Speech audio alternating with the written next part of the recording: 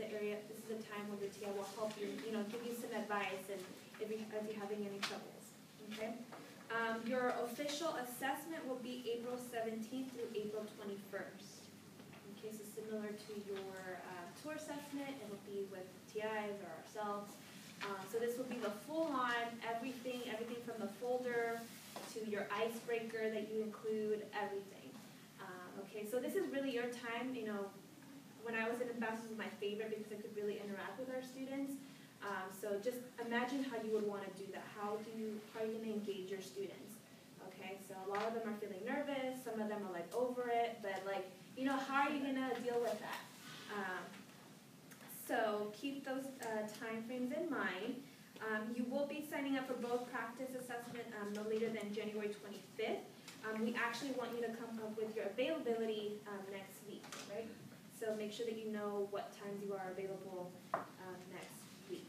Um, So it's one of my favorite things aside from academic advising, but I really enjoy this so.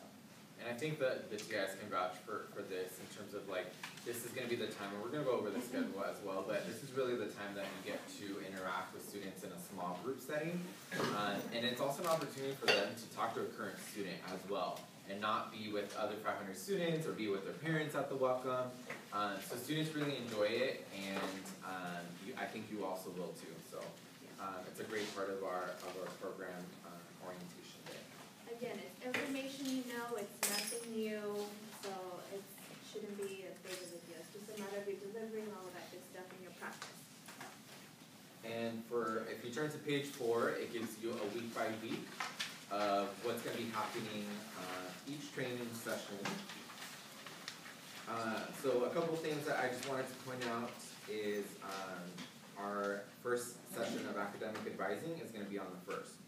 So February first, um, Heather will be in here, and she'll start, um, training for that. And then your first quiz is gonna be on February eighth. Uh, so that'll be the first time that you're assessed on, um, the catalog and general catalog in terms, so it'll be, that was covered on the week before will be what your quiz on the following week. Um, and then we'll have a little bit of a break from advising, uh, the first week or the second week of March, so March eighth. And this will be another opportunity for, for all of us to kind of just check in and see how you're doing in your small group presentation. And we'll give you more details as to what that, what that is gonna look like. Um, and your TIs will also be there to assist, um, in that practice. And then spring break will be the week of March 29th, so that last week into the first week of April. And then we resume with academic advising, um, on the fifth, so it'll be that Wednesday following spring break. And this will be the opportunity for you all to once again review, um, Heather does a really good job with the review session, so, uh, you're well prepared to take the final, uh, that next week on the twelfth. And as Denise mentioned, the week of the nineteenth, or April seventeenth, um, you'll be doing your small group presentation, uh, with either TI or Denise and myself. On the twenty-sixth will be review of the, uh, final exam, and then on the third will be a final training wrap-up, okay? And that'll, that'll be, uh, the end of training. Any questions? Any questions? You also, uh, received, y'all handed up this out as well, right? Um, no, we just it out. Okay, Which one? the one pager that Heather Oh, gave okay. us? Yeah. What do you want us to do with all the information? Do you want us to keep that and bring that up here as well? Your binder, yeah. Yeah, so you wanna bring your, um, training binder, um, each and every. Gabrielle? Um, do we have to keep everything that you guys gave us from last semester, or should we just? leave it Yeah, I would keep it, cause you're gonna continue to use it. Okay, Um, there's probably some information on there that you'll wanna reference either for your small group presentation, uh, and then for orientation in general. okay. I still have mine from my Oh, rookie year. yeah, I was gonna say My rookie binder's in my office, I'm sure to see it. It's in there. I pull it out every once in a while. No, we still like go back to your training and we see like, what did we do for this? Yeah. How have things changed? So it's a good reference point. Uh, so just wanted to also give you this, this was something that Heather created, and it's more specific to just a week by week, uh, for the academic, academic advising portion. So, um, that's also for your reference, we won't go into detail, but if you ever need to contact her, uh, she'll also have her, um, information on here. Any other, okay, Yeah, sorry, one more question. So for training materials, it says personal information sheet, degree evaluation map. Um, so do we have to print that out off of our web portal and bring it to, bring it here, or? So those are one of some of the materials that Heather's gonna bring to you all, so she'll have everything essentially that you'll need. Okay. Um, if we do need you to bring something, we'll let you know, but all of that will be provided to you, and you can just keep it in your training binder. Um, so you'll see in your tabs, there's a, a section for advising, um, so you can just keep it all in there. And we'll do the best, uh, to get everything put in for you all as well, so I know that makes it easy. Any other questions before we move on or to? about the spring semester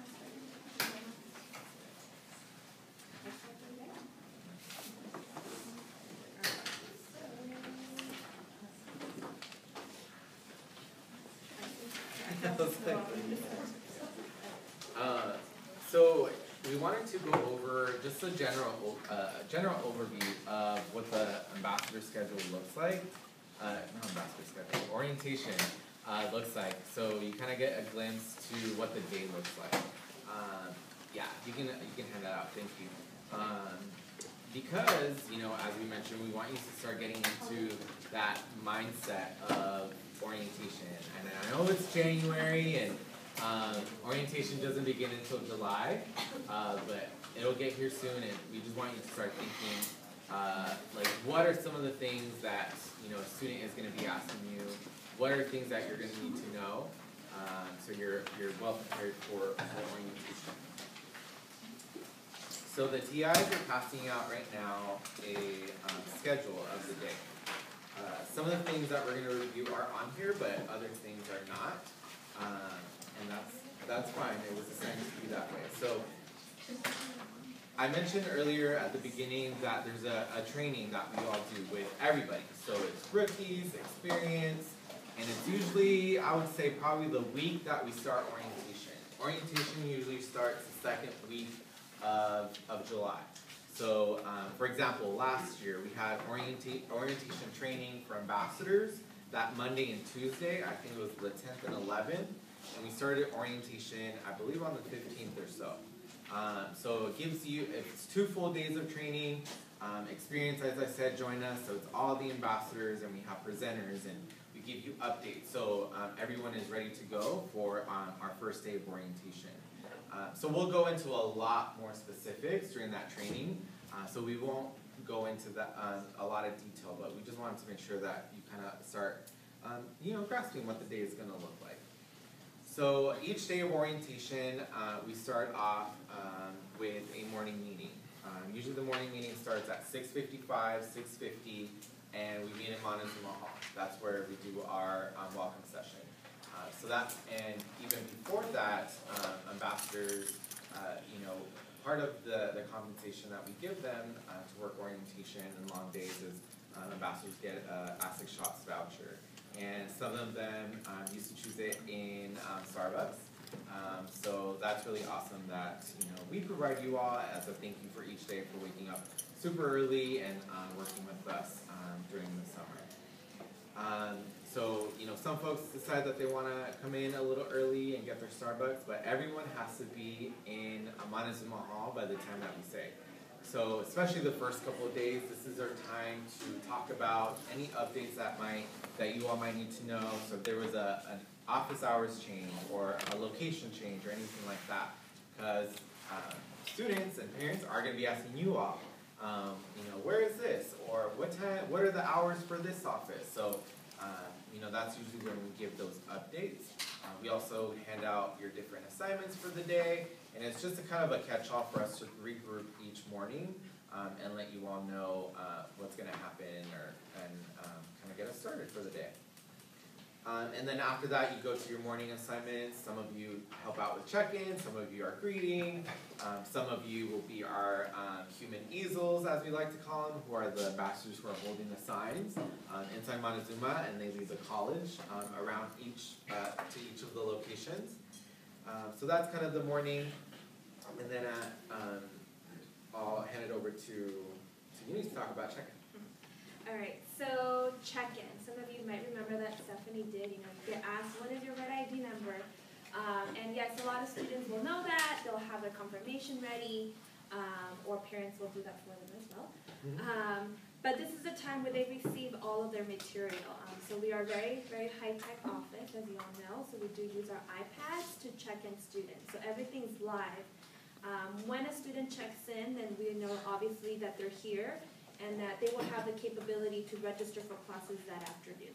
If they don't show up, we don't check them and they won't be able to register for classes. Um, but it's really cool that we are able to do that.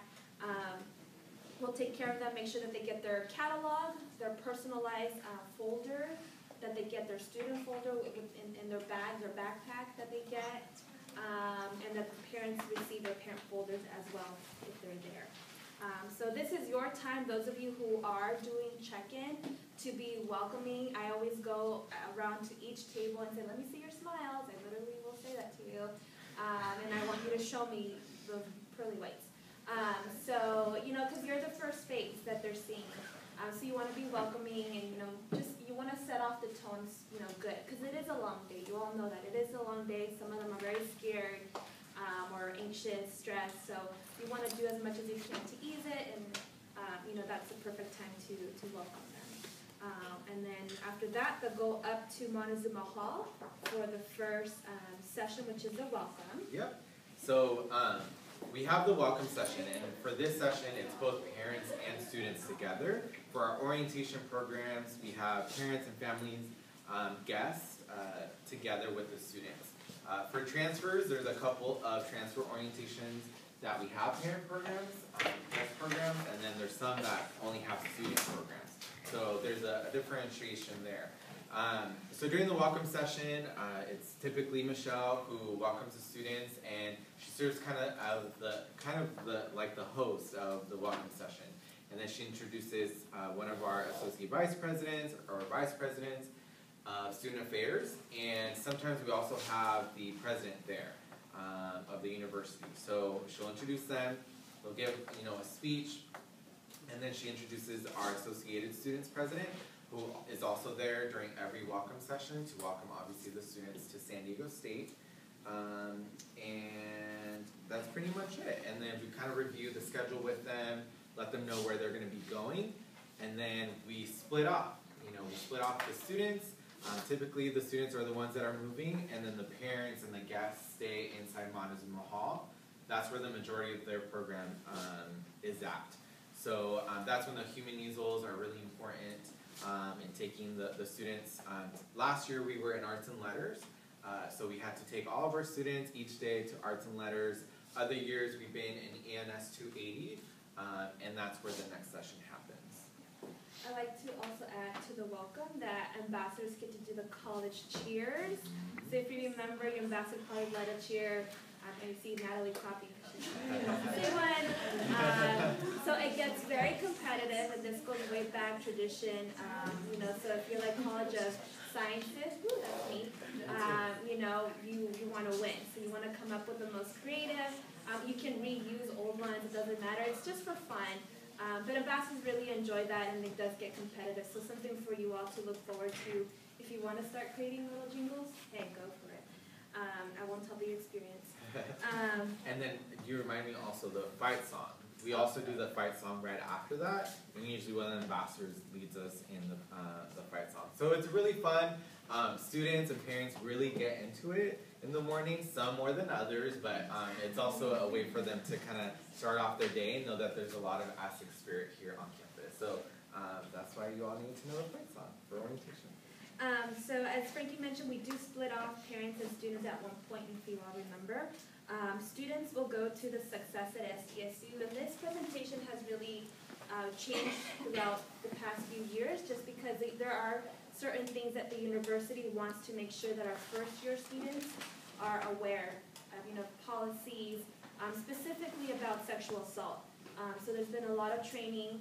Um, maybe some of you remember the Let's Talk campaign. That's something that is talked about to the students and why it's important, what they can do to prevent or to help, um, what are their options if they are a victim or they know someone